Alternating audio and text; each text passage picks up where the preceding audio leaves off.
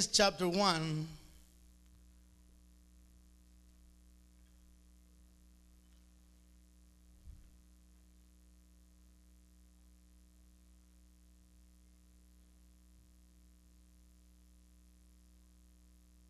Verse 26. And I'm going to read from there.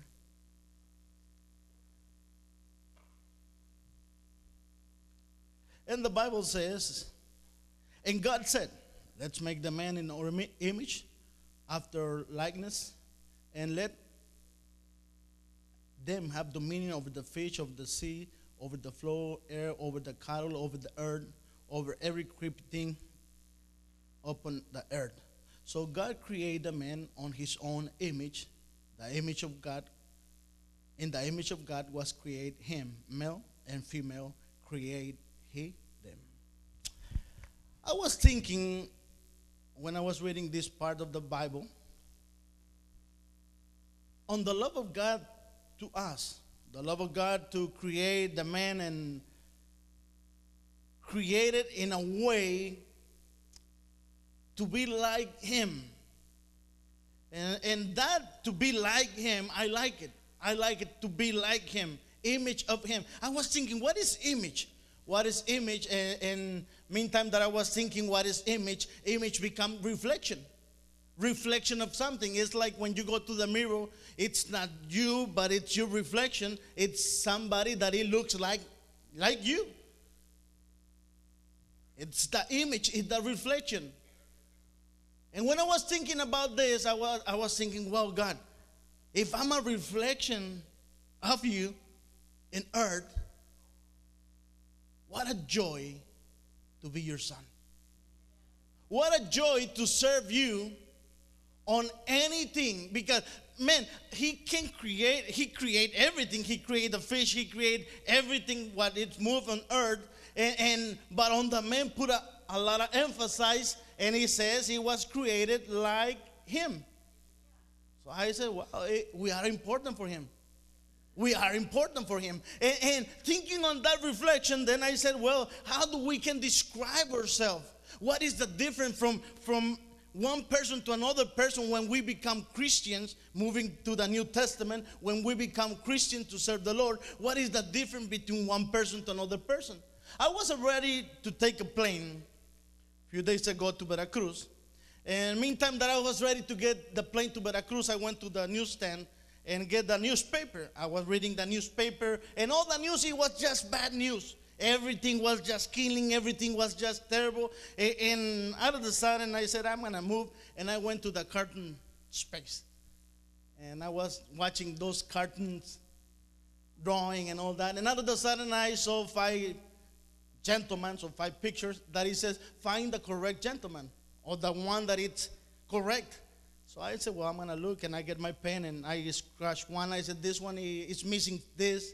I get the other one, I, this one is missing this. This one is missing this. And then finally he said, this is the correct one. Yes. I find the correct one. I took the plane but when I'm in the plane, you know, you know how God works. I mean, sometimes He used the small things to talk to you. He used, I mean, sometimes you, you think that you're gonna hear the big preacher or somebody, and sometimes God used the small things to talk to you. So I was in the plane, sitting on the plane, ready to go to Veracruz and preach, and I'm there and I'm there, and, and out of the sudden the voice of God came to me, came to me and said, Hey, how do you fear or how do you find the difference with between one person that loved me to another one. I said, it's simple. If he has the Bible, he's Christian. He's different. And then the voice of God says, No. Well, if he has a, a nice suit, clean car, nice person, that, that is. He says, No. I said, God, now I'm guessing. I'm guessing who is the person that loves you. Because, I mean, I said the one that is well dressed, the one that is nice and clean and cut. You said, no, the one that had the Bible. I said, well, the one that has the little fish in the back of the truck. He says, no. And then all of a sudden, the voice of God again came to me and said, Hey, it's the one that served me. The one that served me. That used any single space to serve me. It's that my image, my image on earth. Whenever you find somebody that is Christian, you're gonna find him her serving the Lord at any space. He gonna use any little any little conversation, any little space to talk to somebody and say, "Can I help you?" To give just a smile, to say to them, "Hey, God bless you. How are you? Do you have a church?" I said, "God." I mean, it's so simple. Why? Why in 25 years I never thought about that? Sometimes we have to preach a lot of big sermons. Sometimes we have to preach different point of view. And I and when this one I said, God, it's so simple to know the difference between one person that loves you and those that gonna start loving God. It's those that do something for you. I want to talk about that because it's a reflection. I was thinking about Jesus Christ. I was thinking how Jesus Christ came to earth and do the serving. The serving part is very important for the church. I was seeing all the miracles that happened in this house. And I just said, God, that is why his faith pleases God. I have so many troubles sometimes. Sometimes the devil came against it. Sometimes the devil try the worst things, and still the church still work working, the still open. When I heard the, the testimony this morning, I said, "Wow!" Imagine, I mean, any, any, everybody can have trouble, but faith pleases God having problem. Well, faith pleases God. No, God has a powerful God and has faith. Can you say Amen? He has faith. Uh, uh, we was trained on faith, and, and even though that I was no part of from this church, but I was part of the television because every time that the television started, Carlos Ortiz, I click, ah, let me be prepared. And I remember those stories. I remember those teachings. I remember even the way that he moved, he talked, and, and he was so powerful. But today, you have to act in the same faith. You have to act in the same faith. But what is going to make difference and how the church is going to grow in the next year? I have a word that is powerful for you. This coming year is going to be a great year for this church.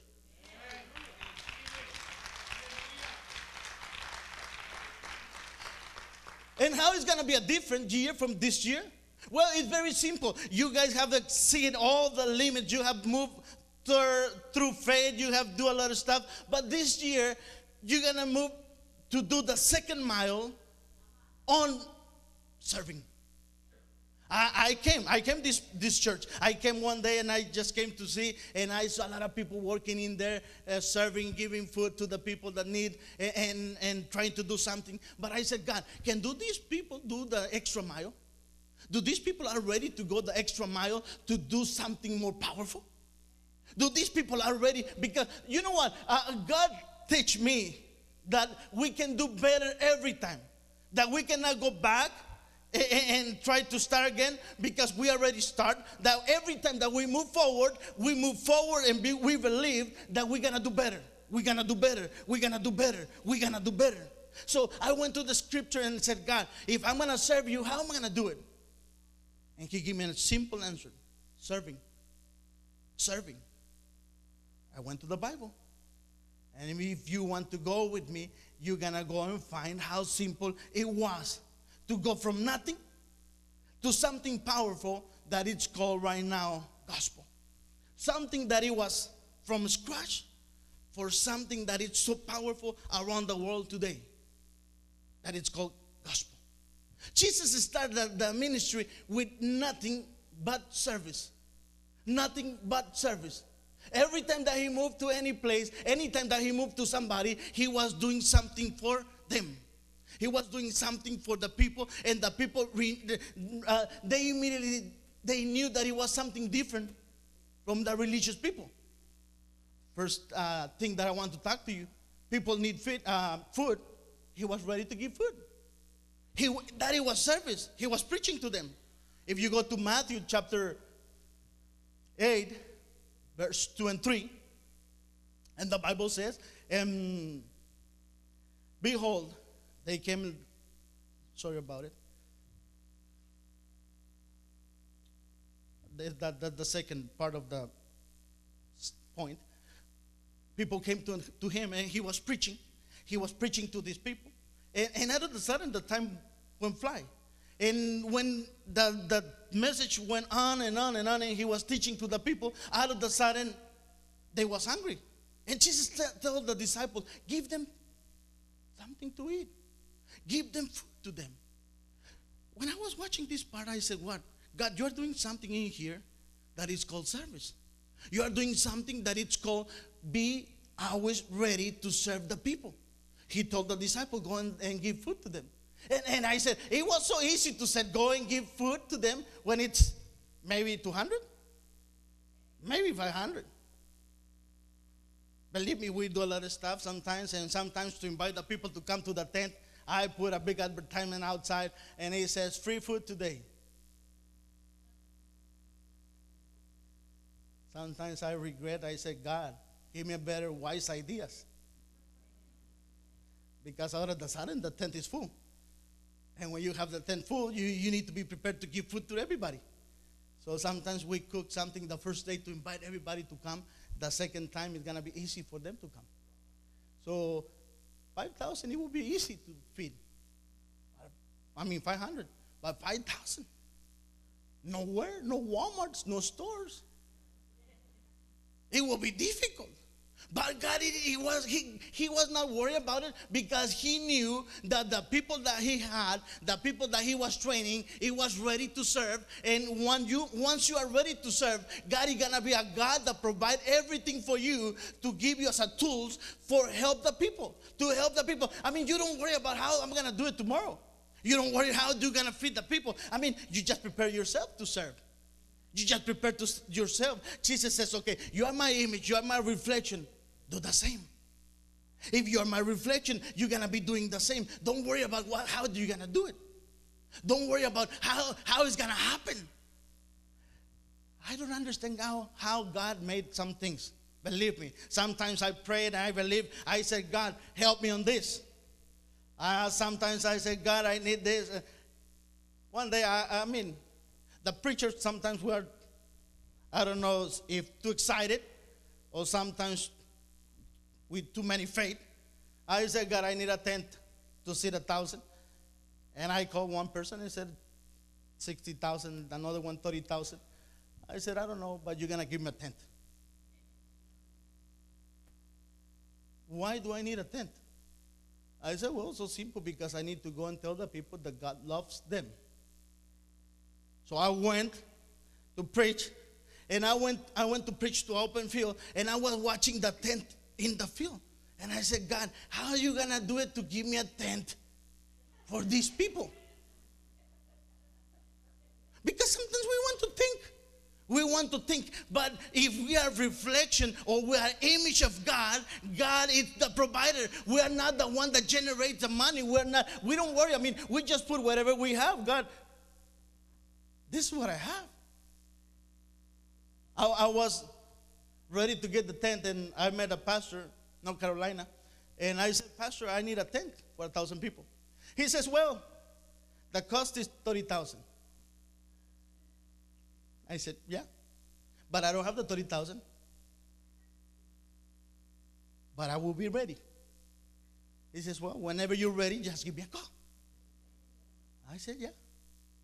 So I went to pray, I went to believe, the next few weeks, he called me. Are you ready for the tent? I said, Yes, I'm ready for the tent. Do you have the money? I said, Almost. Almost. You don't worry about, I mean, those, uh, the number that he mentioned, 18,000, I don't know how Rick handled it to remember the exact pennies. But you don't worry about it. You just give the Lord what you have. And I said, God, I don't have that, that, that, that 30,000, but you're going to give me the 10, right? He says, Yes, I told you. So I called the pastor and I said, I'm ready.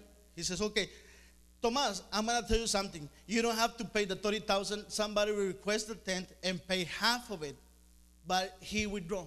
He says he don't want the tent anymore, so it's paid half. Mm, I said, good.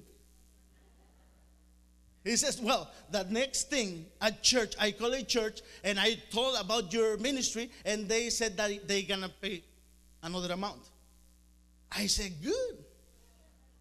We almost fulfilled the 30,000 then.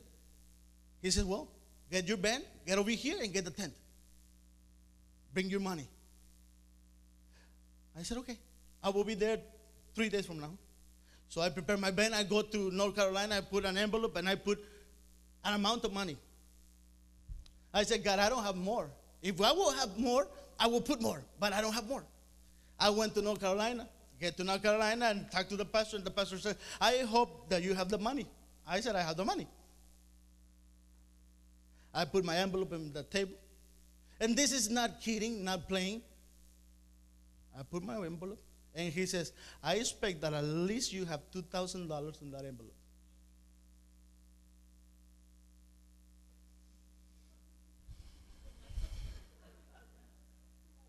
I say, you know what? It's the only $2,000 that I have. It's in there. How do God knew that I have $2,000 and that he was going to send at least $2,000? I don't know. How God do things? I don't know. Don't ask me how he do it. But whenever you serve Lord, whenever you are ready to serve the Lord on any area, do whatever you have on hand. Do whatever you need to do because God is ready to come to you and help you on any ways.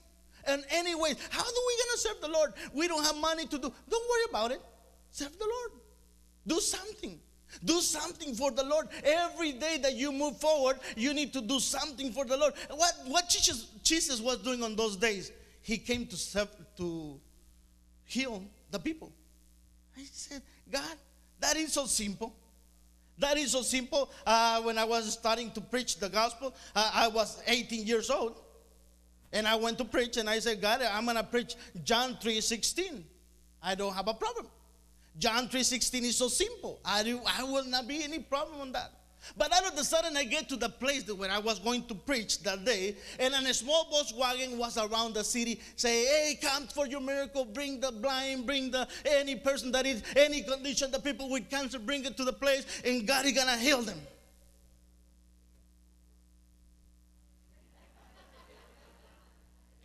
I said, "God, everything sounds nice." I was just 18 years old. I said, God, everything sounds so nice to be a preacher, to be on the road, to be anywhere, but to heal the people. I go to Matthew 8 2, and, and behold, came a leper and worshiped him, saying, Lord, if you want, you can make me clean. If you want. And Jesus responded, I want. I want. Be clean. I said, God, that is so simple for you. But for me, I'm human. How am I going to do that? Out of the sudden, there was a lot of people with muletas, I don't know how to say it in Spanish, and wheelchairs and all that. And they said, and now I was remember when brother introduced me. When they say, and now Brother Tomas Reyes is going to be preaching the Word of God. Get ready. I was like, do I go? Or, or oh, oh, what do I do? Because there's a lot of sick people. I give my first step, and when I was walking through, God came to me and said, Tomas, before you preach, I want to tell you something. Are you worried for that people? I said, God, my mind. I said, God, how we going to do it? There's, well, I'm going to teach you something. I'm the one who heals, not you.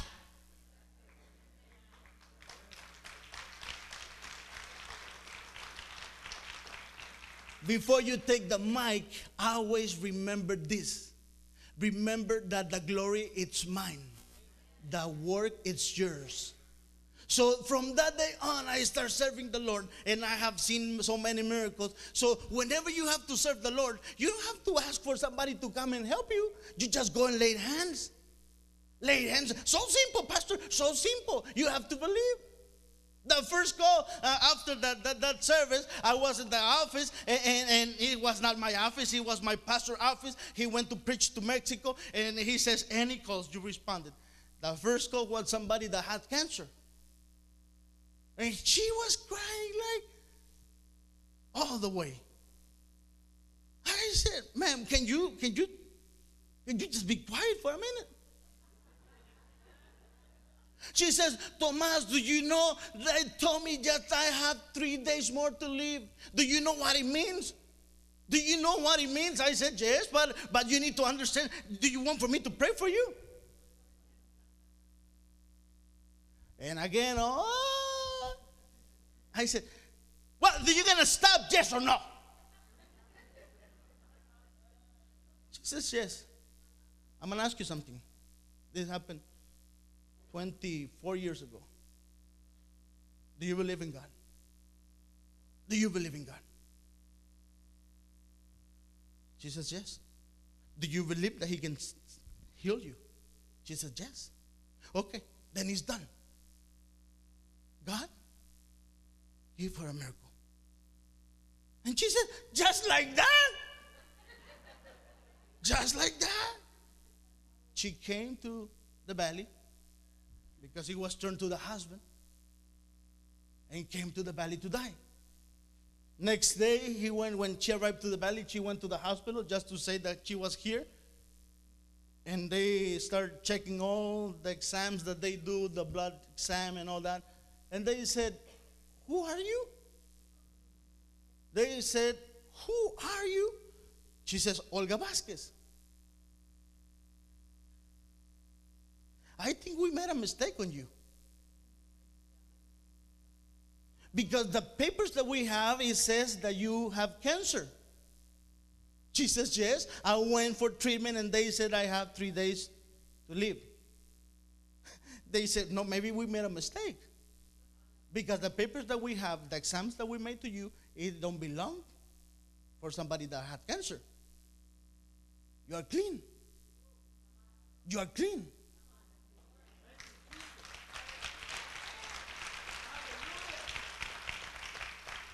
I will never forget because she called me and she said, Tomas, you know what happened? They said that they made a mistake on me. Ah, don't tell me that. I prayed and you believed. She says, Yes, but they said they made a mistake. No, there was no mistake because your husband can testify. She had a big smell of death. Her body was dying.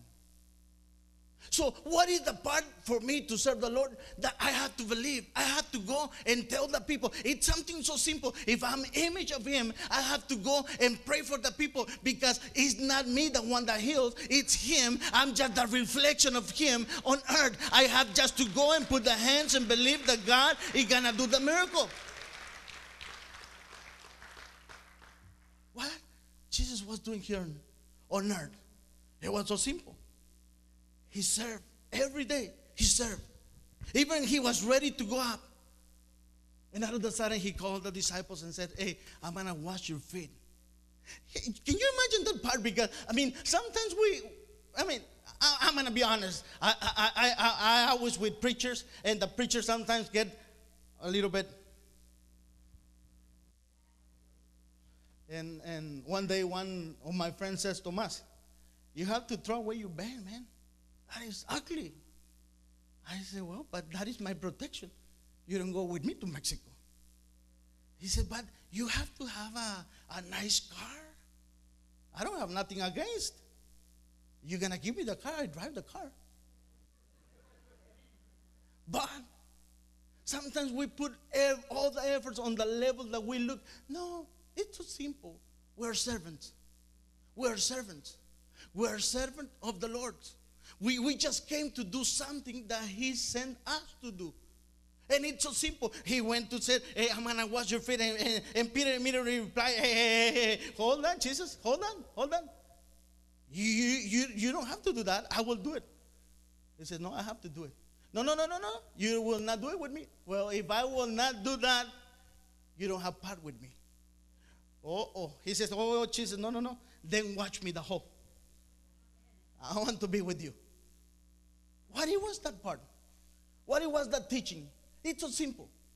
The teaching of Jesus every single day was service, service, service, service. We are not too big. We are not, I mean, we are just simple people. We are Christians. And as a Christians, we act every day and we serve another people. And when another people know that we are servants, they want to be around you. They want to join with you in the church because they know that it's a different church. It's not a church that just preach. It's a church that serves every single day of life.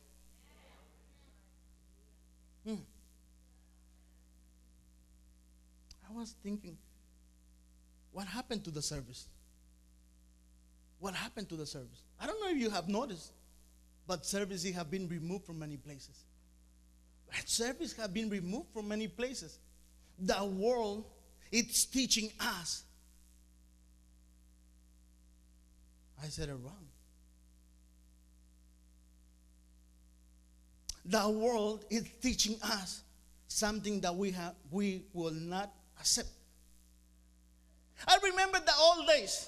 I remember the old days. I came to US many years ago. I'm not too old, but I remember the old days when you get to the gas station and somebody came and pumped the gas to you and clean, check your air and the tires, clean your windshield, and do some stuff. That was called service. That was called service. So the people that he was in there, he was trained. Hey, the client is always right. Have you heard that? The client is always right. Something happened. Something happened out of the sudden you go to the gas station and there is no more people to serve you. You go and pump your own gas. It doesn't matter if it's freezing. You go out and put your gas and Sometimes you go to the work and then you smell that, oh, yes. They remove it. Then out of the sudden they remove the service. I, I, I used to have a banker. I'm not rich, and, and, many years ago I used to have a lot of problems. But I used to have my, my, my banker. I don't know if you had gone through those processes that a bounce check. You are invited to our next church service this Sunday at 11 a.m. Come to Faith Pleases God. Hear an inspiring word, experience the presence of God, and claim your miracle in the name of Jesus. I want to invite you to Faith Pleases God. I know Jesus will change your life. You can also watch us live online at faithpleasesgod.com. Faith Pleases God Church. All are welcome.